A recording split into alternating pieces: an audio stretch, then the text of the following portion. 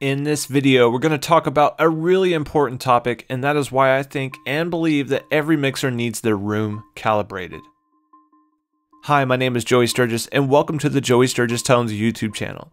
If you're new here, hit that subscribe button. To all my subscribers, welcome back, and don't forget to like this video and ring the bell to get notified when we upload new videos. So let's dive into it. Let me preface this discussion with something really important. You do not need to have a degree or really any training in acoustical engineering to get a great sounding mix environment. You don't need thousands of dollars in expensive playback systems either. All it takes is a basic understanding of how sound travels and a few key pieces of information about your environment that we're going to cover today to truly achieve a great sounding room. So why calibrate your room? In one word, accuracy. You want your mix environment to be as accurate as possible so that your mixes translate well to the real world. Mixers come up with all kinds of excuses for why their room isn't calibrated, claiming that they know their room or that calibration is the thing that's going to color their sound. It seems a little bit defensive though, doesn't it? In actuality, calibrating your room is one of the single biggest ways to clean up your mix environment. It's a permanent solution to problems that you're facing, and it's something that can be redone in a new mix environment in the event that you relocate.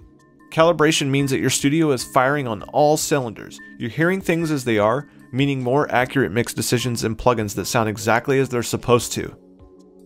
Before you dive into calibration, you need to apply any room treatment that you plan on using or you risk throwing your calibration, well, out of calibration. Things like foam, bass traps, and diffusers all change the dynamics of your room and not always in a good way. Too much treatment will overly dampen your room and potentially prevent your sound waves from developing fully too little, and your room could end up sounding like you're in some warehouse. Room treatment isn't the focus of this conversation though, but if you do plan on using it, make sure it's all up before you perform any calibration. A few points to consider treating. The first point of first reflection on each wall, corners for bass buildup, the floor, like a carpet is a great way to deaden a room, and the ceiling for flutter echoes. Using software for room calibration is a great step-by-step -step way to get good calibration results without much additional effort on your end. Remember, we want to keep the process simple enough so anyone can do it.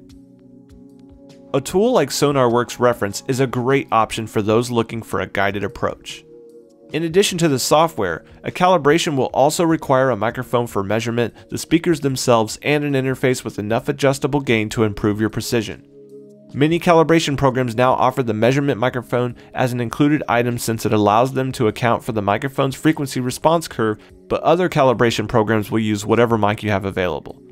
Another helpful tool for setup is measuring tape, which allows you to adjust your speakers and microphones most accurately. Once you've gotten everything set up physically, calibration software should be able to walk you through the rest of the process. Things like gain levels, speaker distance, and listening position will all be validated again, making the process nearly impossible to mess up if you're following along. The more detailed programs will move you through a series of microphone positions in the room to really fine tune your system. For a full walkthrough of calibration from start to finish, check out our video guide below.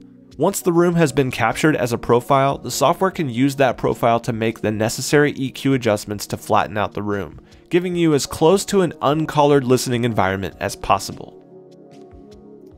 Once your calibration profile is applied, then there's plenty you can do to test its accuracy.